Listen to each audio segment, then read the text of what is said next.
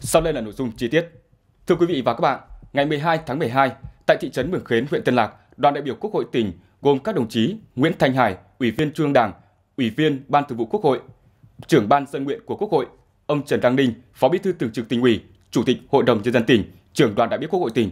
ông Quách Thế Tản, Phó Chủ tịch Trung ương Hội khuyến học Việt Nam, Chủ tịch Hội khuyến học tỉnh Hòa Bình, Ủy viên Ủy ban Văn hóa Giáo dục Thanh thiếu niên và Nhi đồng của Quốc hội đã có buổi tiếp xúc cử tri huyện Tân Lạc. Cùng dự có đồng chí Bùi Văn Tinh, tỉnh ủy viên, Bí thư huyện ủy, Chủ tịch Hội đồng nhân dân huyện, đồng chí Đinh Anh Tuấn, Phó Bí thư huyện ủy, Chủ tịch Ủy ban nhân dân huyện và đại diện các sở ban ngành của tỉnh.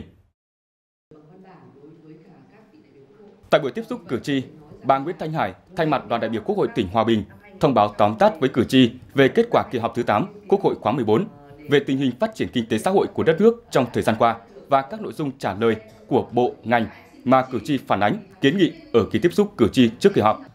Sau khi nghe đại diện đoàn đại biểu Quốc hội tỉnh thông báo một số nội dung kỳ họp, cử tri các xã đã đưa ra nhiều ý kiến trao đổi, kiến nghị tập trung vào một số nội dung như hỗ trợ tăng phụ cấp cho người hoạt động không chuyên trách ở cấp xã, thôn, xóm, xe chở quá trọng tải quy định ảnh hưởng đến chất lượng của đường bộ,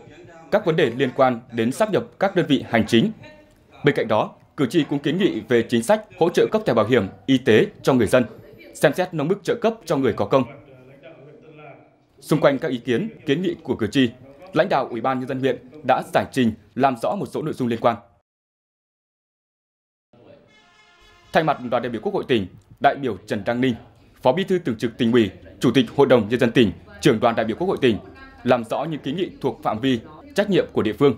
đồng thời tiếp thu tổng hợp những ý kiến kiến nghị vượt thẩm quyền gửi tới các cơ quan chức năng và Quốc hội xem xét điều chỉnh phù hợp với tình hình thực tế.